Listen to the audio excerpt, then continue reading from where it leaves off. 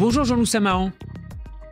Bonjour. Et merci d'avoir accepté euh, notre invitation. Vous êtes spécialiste des affaires stratégiques au Moyen-Orient. Euh, vous êtes notamment chercheur senior à l'Institut du Moyen-Orient de l'Université nationale de Singapour et à l'Institut français euh, de relations internationales. mais nous vous recevons pour une note remarquable que je conseille vivement à nos auditeurs, publiée par l'Institut Montaigne, que vous venez de rejoindre comme expert associé Moyen-Orient. Une note disponible en libre accès sur le site du think tank qui est intitulée Après Gaza, la sécurité d'Israël. Euh, Jean-Loup Saman, d'abord, euh, posons peut-être euh, les bases. Sur quel pilier, sur quel principe reposait la doctrine sécuritaire israélienne à l'égard des Palestiniens et en particulier ceux de la bande de Gaza avant le 7 octobre? Alors, euh, pour donner une réponse euh, courte, en fait, euh, je pense qu'il y a deux aspects qui sont importants et que la note présente. c'est tout d'abord que la, doctrine de sécurité d'Israël est finalement assez, assez permanente depuis, depuis la création de l'État et repose sur l'idée de dissuasion. c'est quelque chose qu'on revoit très souvent dans les années 50, l'idée que Israël ne peut être stable, ne peut être sécurisé que si euh, elle établit une, posture de dissuasion crédible vis-à-vis de son voisinage. Et ça a marché bon an, mal an euh, vis-à-vis des États euh, voisins, notamment l'Égypte et la Syrie, jusqu'à jusqu'à aujourd'hui.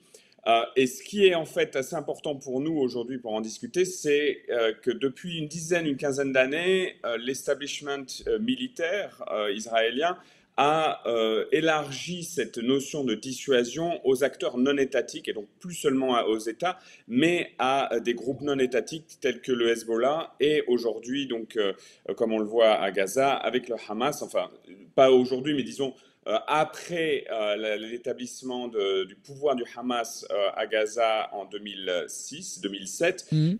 la notion de dissuasion s'est appliquée aussi au Hamas. Et vous rapportez les interrogations de certains chercheurs, en particulier israéliens, sur la possibilité justement d'appliquer cette logique dissuasive à l'égard d'acteurs non étatiques, qu'il s'agisse du Hamas ou du Hezbollah, et en l'occurrence des groupes terroristes. Pourquoi la dissuasion ne fonctionnerait-il pas également les concernant? En fait, si on, revient à la notion de dissuasion, la, dissuasion suppose la rationalité de votre adversaire. L'idée que euh, votre adversaire acceptera euh, un certain niveau de vulnérabilité. Euh, la dissuasion repose sur l'idée que si je vous attaque en, riposte, je vous infligerai des, dommages beaucoup plus importants. Et euh, beaucoup de, voix se sont élevées, que ce soit au sein de la communauté des chercheurs, la communauté des, euh, spécialistes militaires, pour dire que cette notion de rationalité sur laquelle repose euh, la dissuasion ne peut pas véritablement s'appliquer à des groupes non étatiques qui n'acceptent pas cette vulnérabilité. Ça s'est appliqué jusqu'à aujourd'hui euh, de façon assez stable avec le Hezbollah au Liban, mm. mais on le voit aujourd'hui, euh, le Hamas n'accepte pas finalement cette rationalité. Mais est-ce que ça euh, n'avait pas, marché jusque-là avec le Hamas, Jean-Loup Bien, c'était l'idée jusqu'à, disons, le 7 octobre que cette, cette dissuasion marchait. Euh, on peut euh, se poser la question quand on a, disons, eu un cycle de, conflits entre Israël et le Hamas depuis, disons, 2008. On a eu quatre conflits déjà assez importants. On peut se poser la question de savoir si vraiment cette dissuasion, elle était stable ou elle était soumise euh, très régulièrement à des escalades entre les deux camps. Est-ce que ce qui s'est passé le 7 octobre est, depuis à a du même coup remis en cause l'appréciation israélienne de la de l'efficience de leur dissuasion à l'égard du Hezbollah, avec lequel, euh, depuis le 7 octobre d'ailleurs, l'intensité de leur conflictualité a, est montée de plusieurs crans oui, parce que euh, disons que ce qui est certain aujourd'hui, c'est que la dissuasion ne marche pas ou euh, ne, marche plus avec le Hamas et l'opération que l'on voit à Gaza en est la conséquence. Ce qui est peut-être tout aussi dangereux pour euh, la stabilité de la région, c'est euh, la question un peu par effet de miroir. Est-ce que cela veut dire qu'elle ne marche plus non plus euh, avec le Hezbollah libanais? Jusqu'ici, depuis 5-6 mois, ce que l'on voit, c'est une extrême fébrilité avec des frappes des deux côtés et avec une volonté d'Israël de faire appliquer la résolution de l'ONU qui avait notamment gelé en quelque sorte le conflit depuis 2006. Et donc la question n'est pas tranchée. Alors vous incitez d'ailleurs euh, dans cette note sur le fait que le, débat notamment en cours sur euh, ne s'arrêtera pas là. Les décideurs israéliens vont devoir déterminer, écrivez-vous, s'ils peuvent encore tolérer la proximité de menaces telles que les missiles du Hezbollah et le programme nucléaire iranien ou au contraire euh, s'ils doivent prendre les devants via des attaques préventives Est-ce qu'Israël, pour nous intéresser au deuxième acteur qui est cité ici, la République islamique d'Iran, est-ce que les décideurs israéliens considèrent que la politique euh, euh, iranienne est parfaitement rationnelle et qu'en contre-coup, la dissuasion israélienne à l'égard de certains sites, euh, et même voire peut-être plus largement du régime iranien, est, toujours pertinente? Je pense qu'il y a plusieurs éléments ici qui méritent en soi une discussion. D'une part, la, la, question de la rationalité du régime iranien ce que l'on voit aujourd'hui, je ne pense pas que cela remette en cause euh, la rationalité euh, du régime iranien, mais ce qui est véritablement le problème, c'est euh, le degré de vulnérabilité que Israël, et en particulier sa population, est prêt à accepter après le 7 octobre. L'idée, disons, d'un Iran nucléaire aujourd'hui, elle n'est plus la même que, on va dire, avant le 7 octobre, mm. dans le sens où je, je, pense que beaucoup de planificateurs israéliens se posent la question de savoir si demain un Iran euh, nucléaire, est-ce que cela veut dire que euh, Téhéran apporterait son soutien de façon beaucoup plus euh, affirmée à des groupes tels que le Hamas ou le djihad islamique, et donc poserait encore plus la question de la vulnérabilité des populations, on va dire, dans les zones frontalières d'Israël, comme on l'a vu le 7 octobre. Donc c'est en ce sens-là que la question d'un Iran nucléaire mérite d'être posée. C'est peut-être moins pour l'idée d'un conflit nucléaire qui reste, euh, somme toute, assez faible, mais sur ce que cela entraîne euh, vis-à-vis des, autres conflits, euh, que ce soit le Hezbollah ou les groupes à Gaza. Est-ce que ça peut conduire les Israéliens à décider, in fine, d'une attaque préventive contre certains des sites nucléaires iraniens? C'est toute la question. Je ne pense pas qu'elle soit tranchée. Je pense qu'elle qu'elle est très certainement euh, au cœur des échanges euh, qui sont tendus par ailleurs entre Washington et Jérusalem, à, savoir euh, que je ne pense pas aujourd'hui que si Israël était amené à conduire une frappe préventive contre le programme nucléaire iranien, cela se ferait sans concertation avec les Américains. Est-ce, est-ce que la ligne américaine, justement, de l'administration Biden est, est, est, tranchée et très claire sur la, sur la question, en tout cas de ce qu'on peut en, savoir? Je ne pense pas qu'il y ait une ligne euh, tranchée sur la question iranienne. Ce qui est certain, c'est que l'on voit depuis euh, au moins deux semaines un changement clair dans le ton de l'administration Biden vis-à-vis de l'opération à Gaza. Euh, mais qui est plus lié aux dégâts humanitaires, à la conduite de l'opération et à ses résultats militaires que, à, disons, à sa finalité. Euh, sur la question iranienne, je pense que euh, de la même façon, les Américains seront extrêmement regardants sur la finalité de cette opération, sa faisabilité. Et encore une fois, là, on spécule sur l'idée que le gouvernement israélien lui-même euh, est tranché sur la question. Et je ne pense pas qu'aujourd'hui, euh, la, question de, confronter l'Iran sur euh, le programme nucléaire soit, disons, au centre de l'agenda du, du, gouvernement israélien.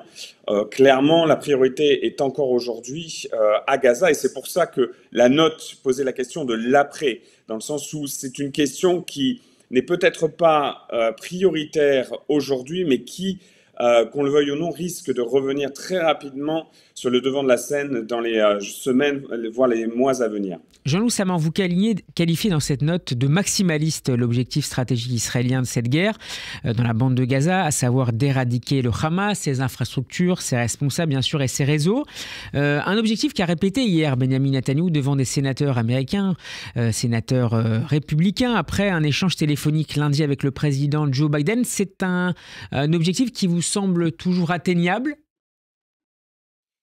Non, je ne pense pas qu'il soit atteignable dans, dans, le sens où justement il est maximaliste euh, et euh, disons que ce que l'on peut euh, envisager de façon réaliste, c'est un affaiblissement des infrastructures et de la, du leadership du Hamas. Et sur ça, on a vu des résultats jusqu'à récemment avec le, certains membres assez hauts de la structure du Hamas qui ont été atteints. Notamment tout récemment son numéro 3 dans la bande de Gaza, Marwan Issa.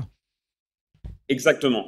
Euh, mais sur, euh, disons, l'éradication euh, intégrale du Hamas, ça, je pense que la, plupart des, des, des, des, analystes militaires aujourd'hui estiment ce, cet objectif irréaliste. Et je pense que notamment les opérations que l'on voit en cours à l'hôpital d'Al-Shifa à Gaza nous montrent que finalement, les Israéliens sont encore obligés d'opérer dans le nord, alors qu'on avait eu des déclarations assez forte euh, de, euh, la, hiérarchie de Tzahal sur l'idée que, euh, les Israéliens contrôlaient le nord de Gaza. Ce que l'on voit, c'est que cet objectif d'éradication, à mon avis, il est illusif. Il ne peut pas être obtenu parce que tout simplement, si on a, si on a une, disons une, une, une, élimination des leaders du Hamas, on aura quand même euh, un personnel qui le remplacera. Et donc cette éradication absolue, elle n'est pas réaliste, elle ne l'a jamais véritablement été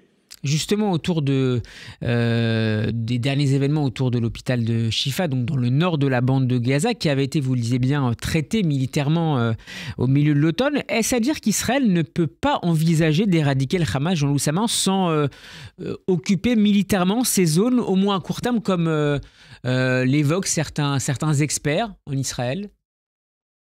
Je pense que dans, votre question, il y a, l'élément clé qui est euh, l'après-Hamas. Le, le, problème, c'est euh, le problème central finalement de cette opération. Euh, il est politique, c'est-à-dire que depuis le lancement de l'opération, on s'interroge sur qu'est-ce que sera l'après l'après Hamas.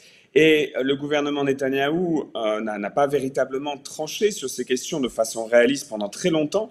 Euh, et aujourd'hui propose tout au plus un, calendrier, enfin ce n'est pas véritablement un calendrier, mais une présence militaire sans, euh, sans calendrier euh, certain de, de retrait des troupes. C'est à mon avis moins lié à des débats militaires qu'à des débats internes sur la coalition au sein du gouvernement et la, la volonté de Netanyahou de préserver les membres, notamment sur son flanc droite, de droite extrême, euh, de, de préserver cet assemblage euh, de la coalition de, de Netanyahou. Et donc, finalement, l'objectif ne peut pas être atteint militairement parce que la finalité politique n'est depuis le début pas claire. Alors les Israéliens ont, vivement réagi au discours la semaine dernière du, sénateur démocrate euh, Chuck Schumer, euh, leader de la majorité à la Chambre haute, qui avait appelé à ce que les Israéliens euh, élisent un nouveau gouvernement pour succéder à Benjamin Netanyahu, qu'il présentait comme un obstacle à la paix aux côtés du, Hamas. Est-ce qu'il y a un risque, Jean-Loup Saman, de plus en plus fort de voir Israël ne plus profiter d'un soutien bipartisan aux États-Unis, qui est évidemment déterminant dans, dans la qualité de, de sa sécurité alors il y a deux choses. Euh, d'une part, je ne pense pas que le soutien militaire, l'aide militaire euh, apportée à Israël soit aujourd'hui euh, remise en cause. ce qui est possible, c'est que si l'opération de Rafah se déroule et se déroule sans euh, l'approbation euh, des, euh, des, Américains sur, sur, sur, les détails opérationnels, je pense que c'est, il est possible que l'administration Biden en vienne à remettre en cause certains aspects, notamment tout ce qui est lié à, à la campagne aérienne. Au-delà de ça, ce qui est certain, c'est qu'on voit, euh, mais ce n'est pas, ça n'a pas commencé avec le 7 octobre, ça a commencé, euh, disons, dès 2014, dès 2015, euh, avec, disons, la, la, campagne de Netanyahou contre l'administration Obama. Il y a le sentiment clair du côté du Parti démocrate que Netanyahou a lui-même joué sur la, la, polarisation entre démocrates et républicains sur la question d'Israël. Et donc, on voit aujourd'hui clairement au niveau, disons, de l'aile, l'aile gauche du Parti démocrate, notamment avec le sénateur Bernie Sanders, mais également avec ce qu'on appelle l'escouade de parlementaires plutôt jeunes et donc de l'aile gauche mmh. du Parti démocrate qui se veulent de plus en plus critiques sur Israël. Mais encore une fois, sur l'aide annuelle, l'aide militaire, euh, apportée à Israël, et notamment sur les euh, capacités défensives, la défense antimissile, Iron Dome, ça, ce n'est pas à l'ordre du jour. Je ne pense pas que ce sera remis en cause. Est-ce qu'il en sera même sur le, plan diplomatique, notamment au Conseil de sécurité de l'ONU? Alors là, ce que l'on voit aujourd'hui, c'est euh, la volonté américaine de porter un nouveau, une nouvelle résolution sur un cessez-le-feu qui lirait clairement euh, le cessez-le-feu à la libération des otages. Ce n'est pas en soi un changement euh, diplomatique euh, de l'administration américaine. Ils ont dit à, chaque fois qu'ils ont opposé les précédents plans de cessez-le-feu du Conseil de sécurité qu'ils voulaient que ce cessez-le-feu soit clairement conditionné à la libération des otages. Mais le fait qu'on ait cette, disons, cette démonstration américaine aujourd'hui au Conseil de sécurité, c'est aussi une façon de mettre la pression sur Netanyahou vers une sortie euh, euh, de, la guerre, parce que, encore une fois, euh, il y a une frustration américaine vis-à-vis des, des, dégâts humanitaires sur cette opération et sur l'absence de plan clair sur une sortie de guerre du côté de Netanyahou. Du point de vue américain, la solution politique privilégiée est toujours la revitalisation de l'autorité euh, palestinienne, certainement pas euh, avec à sa tête Mahmoud Abbas, mais peut-être avec d'autres euh, avec d'autres figures. Oui, c'est l'idée un petit peu par défaut, hein, il faut le reconnaître, de, l'administration. Avec cette idée de réunir la gouvernance à la fois de, de la Judée-Samarie, la Cisjordanie et la bande de Gaza? Oui, en fait, c'est un, c'est un retour euh, finalement euh, à la, période avant la prise de pouvoir du Hamas euh, à, Gaza. cette idée de relancer le processus de paix vers une solution à deux États et de revitaliser, comme vous l'avez dit, l'autorité palestinienne. C'est, comme je le disais, une solution par défaut parce qu'on ne voit pas d'autres interlocuteurs du côté palestinien. Et euh, encore une fois, euh, ça pose la question de, la, de cette vitalité euh, de l'autorité palestinienne. Les, les, sondages au sein de la population, que ce soit à Gaza ou en Cisjordanie, ne sont pas en règle générale positifs, surtout sur la figure de Mahmoud Abbas qui a été énormément érodé et affaibli au cours des 15 dernières années donc la question se pose de savoir si on peut véritablement euh, revigorer le leadership de l'autorité palestinienne, mais encore une fois, si, euh, euh, on part du principe que Gaza ne peut plus être pensé avec le Hamas, et ça semble effectivement plus possible après le 7 octobre, il faut véritablement se poser la question de quels sont les interlocuteurs palestiniens sur lesquels on peut euh, s'appuyer. Et aujourd'hui, euh, qu'on le veuille ou non, cela ne peut être qu'avec euh, l'autorité palestinienne, puisque c'est la seule entité aujourd'hui légitime pour représenter le, peuple palestinien. Est-ce que la piste d'Arlan, poussée en particulier par les Émirats arabes unis que vous suivez tout particulièrement, est toujours d'actualité, a toujours le vent en poupe? C'est une idée qui revient régulièrement, euh, mais là encore, euh, c'est assez euh, difficile d'évaluer la capacité de Dahlan à la fois de mobiliser les, disons, l'establishment de l'autorité palestinienne. Il faut quand même voir que c'est une, c'est une structure assez ancienne avec des réseaux sécuritaires extrêmement forts et euh, sur lesquels euh, euh, Dahlan a, disons, brûlé certains ponts. il est parti de Gaza en, ayant certains ennemis à la fois à Gaza et à Ramallah. Donc déjà, il faudrait déterminer s'il en interne est capable de rallier des appuis sécuritaires. Par ailleurs, la population, que ce soit à Gaza ou en Cisjordanie, reste assez, assez, euh, euh, assez réticente en termes de soutien à la figure de Dahlan. Ça ne veut pas dire que les choses ne vont pas changer et euh, on peut voir dans les mois à venir peut-être une campagne du côté des pays du Golfe autour de la figure de Dahlan qui, sur le plan de la sécurité, pourrait être une forme, disons, de garant vis à -vis du gouvernement israélien. Deux questions pour terminer. Est-ce que vous repérez, Jean-Loup Samaon, dans le débat public israélien, des approches euh, distinctes, divergentes sur les moyens de restaurer euh, et la dissuasion israélienne à l'égard de, ses voisins euh, et la confiance de l'opinion publique israélienne à l'égard de son état-major politico-militaire? C'est une question qui est difficile et je pense qu'elle mériterait d'être posée à, quelqu'un qui se trouve actuellement sur le terrain en Israël. L'impression que j'ai, mais c'est une impression encore une fois de quelqu'un qui euh, voit les choses depuis l'étranger, donc avec un certain luxe, euh, c'est que l'opinion publique est encore traumatisée par le 7 octobre et qu'une bonne partie du débat aujourd'hui est d'une certaine façon focalisée sur les opérations à Gaza. Et comme toute population finalement en guerre, avec une, extrême difficulté à euh, accepter euh, la remise en cause euh, de, cette opération, ou en tout cas de, de ses résultats. Donc ce qui me semble assez frappant aujourd'hui, c'est justement la difficulté du débat israélien à se projeter au-delà de l'opération en cours et à penser, à repenser euh, cette, euh, cette, question de la sécurité euh, d'Israël dans son voisinage. Encore une fois, je ne pense pas que ce soit unique à Israël, c'est propre à toute population qui a vécu à la fois un traumatisme et qui vit actuellement une, une guerre en cours. Est-ce que finalement le tabou, l'un des tabous les plus forts, les plus traumatisants qui est, qui est sauté le 7 octobre, c'est celui de l'invasion du territoire israélien? Oui, tout à fait. Euh, c'est quelque chose qu'on n'a peut-être pas assez saisi euh, encore et je pense qu'il va avoir un impact euh, sur la culture stratégique, la doctrine de sécurité. Le fait que le Hamas a, de façon tragique, été capable, je ne dirais pas d'occuper, mais en tout cas d'opérer sur le territoire israélien, quelque chose qu'on n'avait pas vu par exemple en 1973 où euh, la plupart euh, des, engagements entre Israël et l'Égypte ou Israël et euh, la Syrie ne s'étaient pas déroulés sur le territoire, on va dire, de 48. Et donc ça, c'est quelque chose qui, à mon avis, a aujourd'hui un impact psychologique qui est encore difficile à mesurer et qui va avoir une incidence et des implications pour la façon dont le gouvernement et en particulier l'armée israélienne devra repenser sa stratégie afin de euh, rassurer euh, la population.